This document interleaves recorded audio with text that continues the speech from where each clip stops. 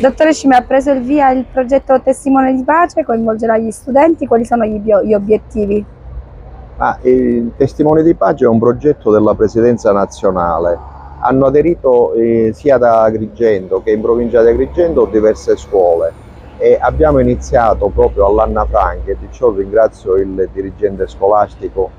per eh, l'accoglienza che è stata riservata e il laboratorio ha avuto un eh, esito mh, molto positivo perché i ragazzi hanno non solo apprezzato l'iniziativa che sostanzialmente fa vedere le vittime civili del 1943 e le vittime civili che purtroppo ancora oggi ci sono, ma sono stati partecipativi con dei, lav con dei lavori che hanno contribuito a fare sempre diciamo, meglio il laboratorio che è stato realizzato.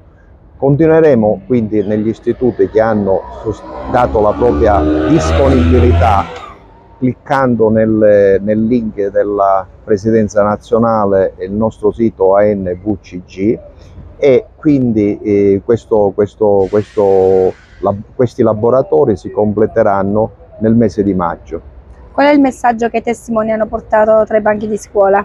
Ma eh, la testimonianza è stata importante perché eh, tutti hanno condiviso che solo con la pace e con la concordia si possono raggiungere gli obiettivi, non certo con la forza e con la guerra. Volevo anche aggiungere che presso la nostra sezione di Agrigento è stata istituita una vera e propria biblioteca dove sono stati praticamente catalogati tutta una serie di testi che riguardano la guerra del 43 e eh, ad esempio, per esempio volumi che eh, riepilogano la, straze, la strage di Strazena e altri fatti che si sono registrati, dove praticamente i soci potranno attingere eh, a questa biblioteca e quindi approfondire quegli argomenti che sono sempre praticamente importanti per, per, per tutti.